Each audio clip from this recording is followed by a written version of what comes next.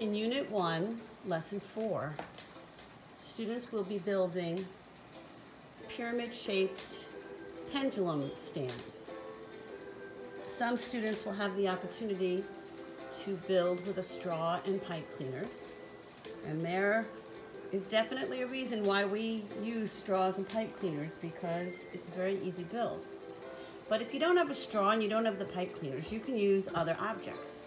This is a pyramid made from barbecue bamboo sticks. And right now, I'm going to make one from chopsticks left over from dinner. So, you need chopsticks and rubber bands.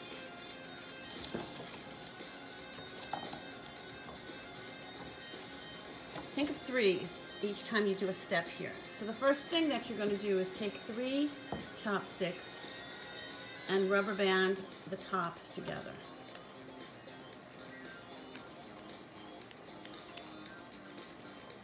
Maybe leave a little, about a half an inch up at the top. Keep thinking threes and keep thinking triangles because really what you're going to do right now is with each chopstick, you're going to be building another triangle. So let's take these two and build a triangle with this next chopstick. First, attach this end.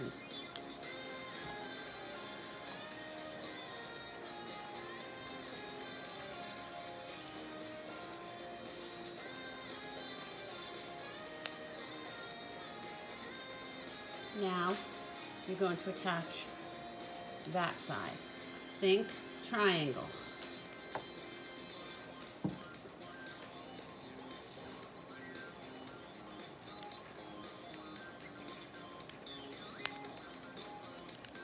The rubber bands work really well because they bend and they move a little bit and that adds flexibility to help you build your triangle. So next, let's build a triangle from these two.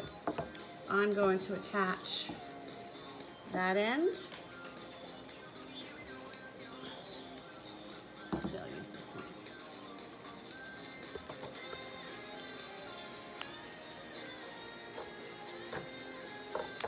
Okay. So this right here is going to become the base for that triangle. You can just add onto the twists of the rubber band, or if you want, add another rubber band. If you have them, you might as well use them.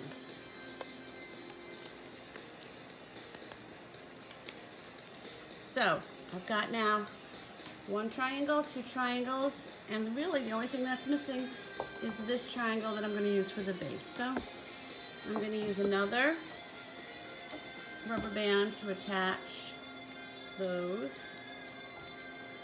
And I'm gonna suggest that you rubber band all three of your dowels or of your chopsticks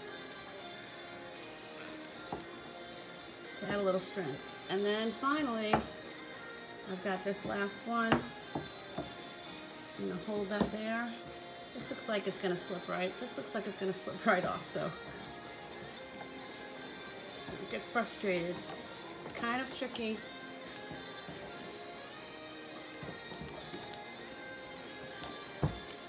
Okay. There's my pyramid.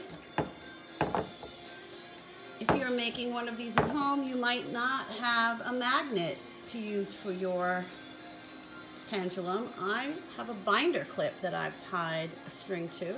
As long as you have an object that has weight to it, it's gonna make a great pendulum. So I'm going to just tie that around the top. I'm going to take my masking tape and tape down the extra string right there. And there's my pendulum.